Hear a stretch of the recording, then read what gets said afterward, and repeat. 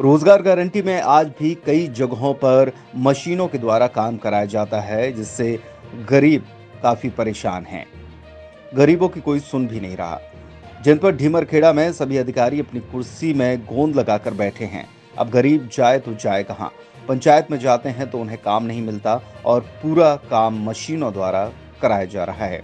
Dhimarkheda block में सचिव रामचंद्र यादव के द्वारा चल रहे रोज़गार गारंटी में मशीनों के द्वारा काम कराया जा रहा है।